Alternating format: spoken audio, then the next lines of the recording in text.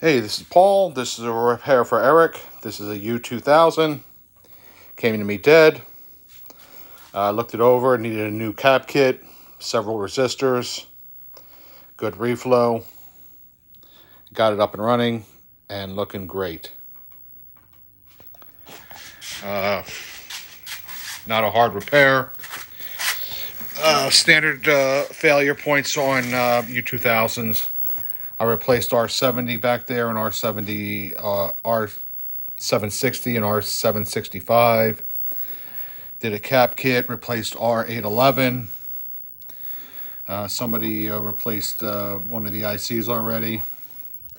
I upgraded a 10 watt resistor, reworked the neck board.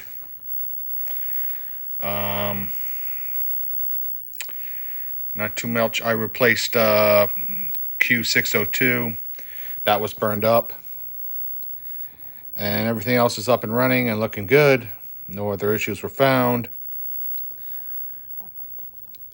Vertical is uh, working good. Horizontal is working good. I left the original flyback. There's no cracks on it, and it's holding focus and brightness, so I just left it. I always leave it. If it's working fine, I just leave it.